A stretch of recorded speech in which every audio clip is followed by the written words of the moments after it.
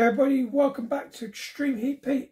I am Extreme Heat Pete and I'm here today to do a sauce review from none other than the Lazy Scientist. And you can find the Lazy Scientist on Facebook, Instagram and Twitter.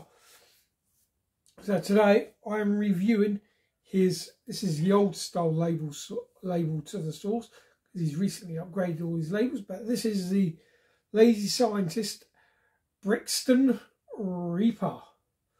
Now, as the name suggests, Reaper means it contains Carolina Reapers. So it's going to be hotter than any of the other sauces I've done of his previously, which were quite family friendly.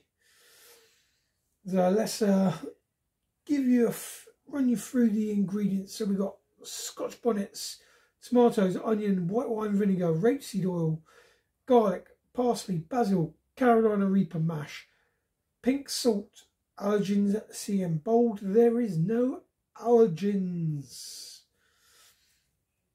Uh, this this sauce started all. Brixton is a homage to my to the vibrant community where Lazy Scientist sauce began.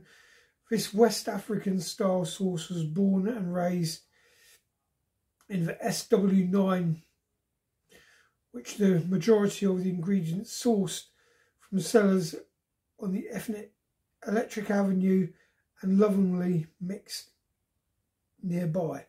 Okay, so this comes from his roots. From Brixton, his roots, where he grew up and where it all started. So it's going to be an absolute privilege to review this. So, you know what? Let's say no more. Let's get this cracked open. Let's see what it's all about.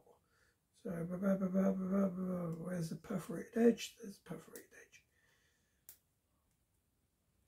If I can get something open. There we go. Right, so we're going to start off with the colour. The colour looks like a mustardy colour, something you'd expect from a like a Bajan sauce colour. So quite yeah. It's a nice nice mustardy, orangey, yellowy, greeny colour. It's not too bad. The labels of the old school are quite catching.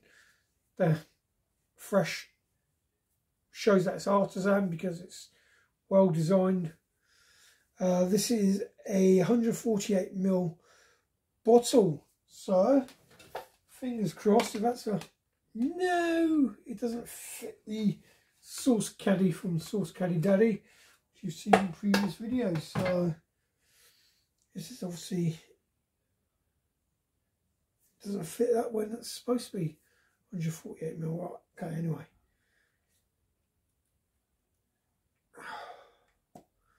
Oh, little pop.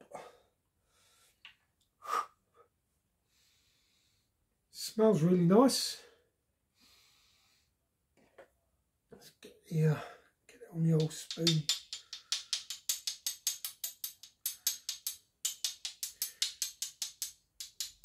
It's a bit of a pain to get out. So there we go, right, there we go, it's on the spoon. see that colour. Now it looks quite orangey on the colour on the camera, but it's actually quite greeny greenish colour. It looks smooth. That tastes in the pudding.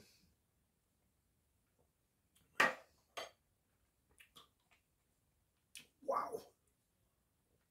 Ooh, ooh, ooh.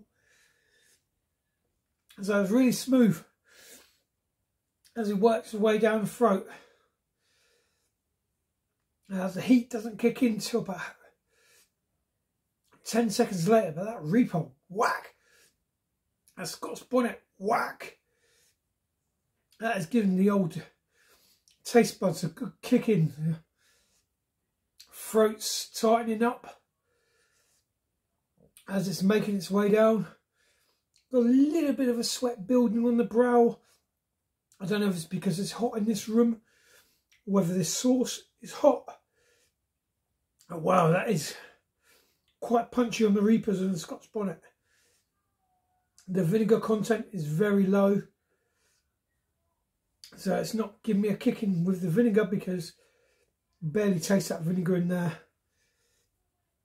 Taste the parsley, the parsley. It's quite, mm.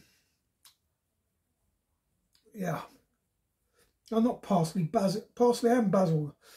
That's why the other flavour I can taste is the basil.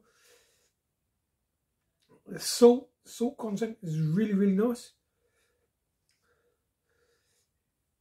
I'm tasting the garlic coming through too and the onion.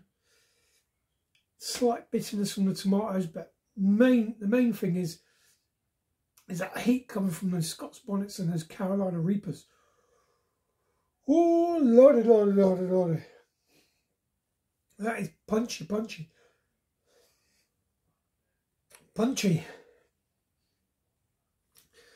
By far the hottest sauce I have reviewed from the lazy scientist himself.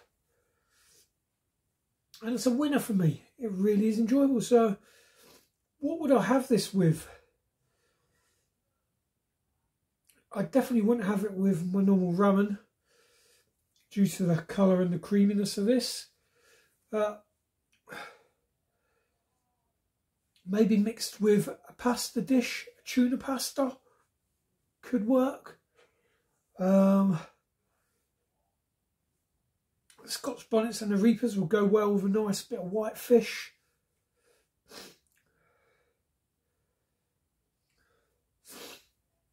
Even dipping your your chips from your, from the chippy in could work. Could work.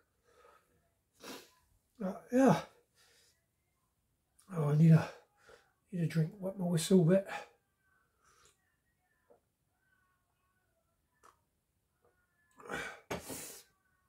I heat builds, builds and builds. Now I've had a drink, it's going down. So that is a really great sauce. I would give you nutritional facts, but they've been blacked out for some reason. Uh, this bottle was £6.50 at Ben's Biltong, but I'm pretty sure it'd probably be cheaper on the Lazy Scientist website, but I'll leave all that information in the description below and where you can find this and links to his YouTube, uh, his Facebook, Instagram and Twitter pages. Oh, bit of a nose run from that. Excuse me while I just clear my nose.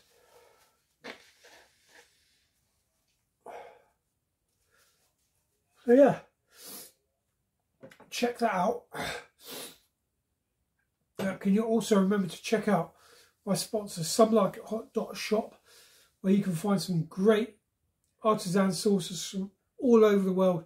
They have got a brilliant range on their moment, over 500 plus sauces on their website. So go check that out. Also remember to use that discount code Extreme10 at the checkout and you'll get 10% off all your orders. Saving you lots of pennies and pounds. The more you order, the more you save. Also check out Dr. Dom's uh, at drdoms.shop for some amazing fermented sauces. He's also London based, same as a lazy scientist, so check him out. And remember, when you buy a bottle of the butt burner sauce, not only will you get the butt burner for £5, but you also get a free sachet of Danger Dust.